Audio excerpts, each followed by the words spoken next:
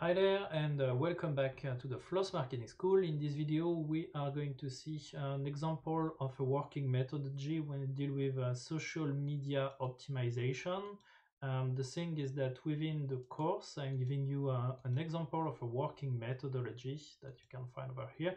Uh, however, I'm not um, making it specific for a given acquisition channel, so this is why I wanted to do it here.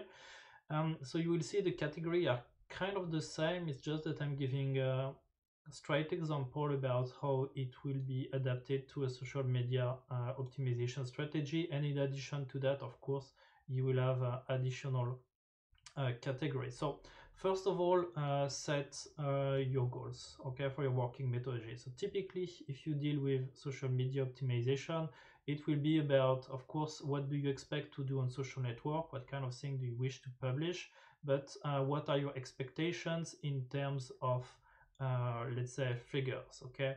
How many uh, likes or shares do you plan? How big should be your community at the end of the year for example or at the end of the month or at the end of the week? I mean you have to think in terms of, of figures what you expect. Do you expect to make sales thanks to uh, your uh, social media posts? So this is what you need to to set over here within the goal uh, part and where you say, okay, I expect to get at least 10 sales uh, per week and define as well what you will consider as a failure and what you will consider as uh, a success. Typically, if I take my uh, my Mastodon account over here, I know that this is uh, far from being a success because I didn't define any plan here and as a result, as you can see, the number of my followers is not growing up and the reason is that uh, probably I'm not uh, doing the right thing here. So I should reconsider my working methodology in order to say, okay, I'm not just here in order to publish some posts. I need to interact with at least those followers in order to start bringing a community, make some uh, noise in order to get bigger and bigger. Um, next is the audience. So you need to define who you would like uh, to target. Uh, this is really important for social network because according to your audience, you will communicate in a different way that if you were communicating to another audience. So for example, let's imagine that um, you're going to talk to uh, young people, then of course uh, your post uh, need to not to be too much academic, let's say, and you need to use uh, the same way they speak. And you need, of course, to publish content that they will have an interest uh, to follow and to share. Uh, in terms of design, you have to think that if you go for social media optimization, you will have a bit of design to do, such as, okay, now what is going to be the cover that you're going to add, uh, what are the colors that you would like to add to the background of each social network that you will use, and you will need, of course, those design to be consistent. If you are sending promotional offer, probably you will need to think about changing your cover and at which frequency and who's going to do that. Uh, are you going to pay someone in order to do it? And so on and so forth. Um, think as well in terms of uh, categories. If you have a big organization, for example, are you going to create one account per organization or are you going to just create one single account for all the organization? Will you allow your employees or the people working with you to have also an account or will they use uh, the same account? And if they use the same account, what are the security policies that you're gonna implement within your organization? About the content and that you're gonna publish, the post types, you need as well within your strategy to define the type of post that you're to publish okay is it going to be only commercial? Is it going to be just institutional information?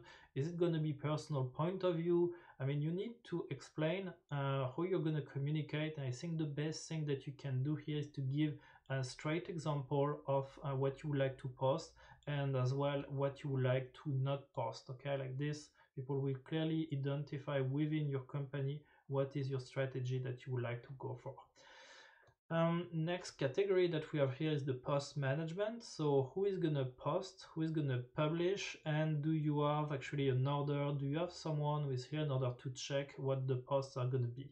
Uh, this is really important for online reputation if uh, you are scared about every post that you're gonna send and you wish uh, your boss to have a look at it. Okay, so you need to consider this and in how much time he or she is gonna reconsider your post in order for your uh, post to not be obsolete. So that's what you need to, to think about. Uh, so as the security system that you will uh, need to implement and will the social network allow such uh, security system. Um, authorization is a bit uh, the, the same thing. It's a lot about security here. Uh, it's uh, about, for example, let's imagine that you're going to share um, the account, okay? Mm-hmm. And as a result, the credential of this given social network account is going to stay within one device, and the device used by your employees, or your boss, is uh, subject to be the same device that they come at home with or will be their personal device. Uh, so you have to think as well in terms of uh, security mm-hmm. about who has an access uh, to this given device and who potentially could publish uh, something whereas actually it should not be published. Um, time to market is about when do you plan your communication to be published, and that's really important because uh, you need to clearly know when your audience expect your post to be published, and as well you need to take care about your employees. For example, let's imagine that you're gonna dedicate one human resource to deal with community management, to deal with uh, social network in your company well, uh, when it's after 5 p.m. or when it's during the weekend or by night where there is a crisis, um, do they have the right to answer? And uh, did you sign something up within the contract in order to allow them to do so? And do you give the money back, or at least uh, do you, let's say, reward them for all the time that they are going to spend out of uh, the, let's say, regular uh, working time hours? Um, content example is closely linked to what I showed before, so it's about giving example of what you plan to publish. Uh, just to let you know about search engine optimization, all social networks, or at least mostly all, have a search engine. As a result, the way you write your post, or at least the way um, you are using some words and tags within those posts is very important. So you have to have a bit knowledge about SEO and let's say a lot of knowledge about SEO dealing with the social network platform that you are using in order to know how you need to format the different posts when you are going to publish them. Um, then as well, you need to know a little bit about uh, law. So what are you allowed to uh, publish, uh, which uh, contents are under uh, copyright and in order to avoid your company to publish contents or media that they are not allowed to publish. So if you have a doubt about a given post that you're going to publish, always ask yourself if you have the right uh, to do it.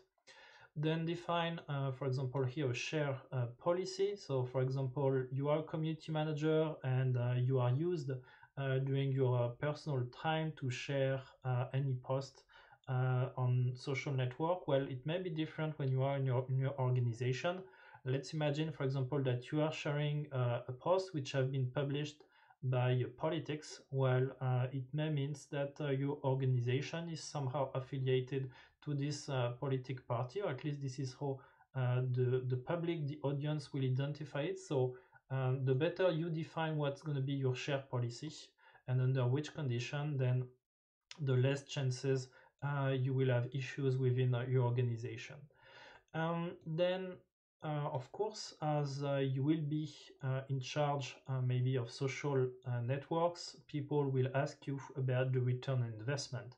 So you need to think about how you're going to show your results, how you're going to show the evolution of the different results you got out of social networks. So this is where you will need to dig within the API of each social network. So at least see through the UI what are the different uh, data report that they can provide you and make it um, clear with uh, your stakeholder within your organization that the results uh, will be shown this way and that the authority in order to validate those results is the one of the platform that you choose or that your stakeholder uh, choose.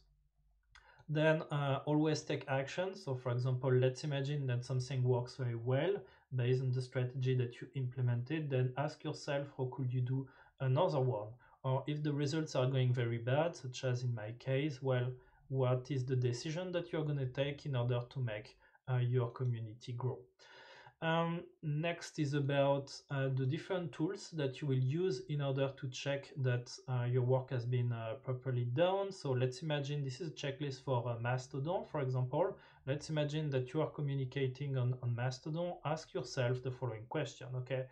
Am I sending the tweet uh, to the right audience online? Um, do I use the right conventions, such as the hashtag, such as the at? Um, Am I including the right person uh, within the message?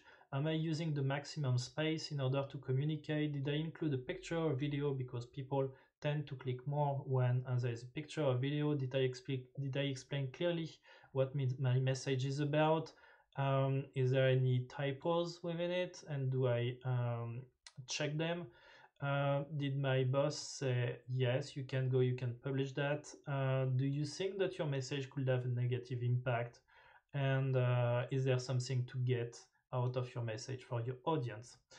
Um, and also another point that you can consider is as well the different tools that you can use in order to manage social networks and in order to be able uh, to be even more productive. So the idea is for example uh, to send on different platform um, the same message or to plan your messages to go at a specific um, time um, then about uh, next topic is about inside your organization. Do people knows within your organization that you're going to use social network? Do they know what is your strategy? Um, do they already created some account here and there the official one? Uh, do you need to communicate with them in order to say, okay, you need to communicate on the official social network and here it is. So you will have to close down your existing uh, social network account. Um, ask also to those people who would like to communicate with you if they are allowed to communicate with their personal name or should they take the one of the company or a fake name uh, beyond of the company.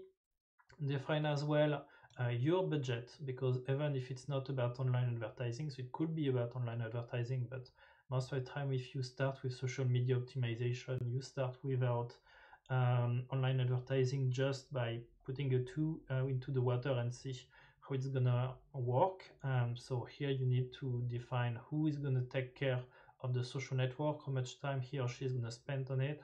Am I gonna offer him or her uh, the tablet and the mobile device in order to communicate, or she or he will have uh, to use his personal device, and what's gonna happen if this person is gonna leave the company? And as well, uh, for a social media optimization strategy, you need to think about the network. Okay, um, are you gonna start from scratch? Or are you going to acquire an existing account?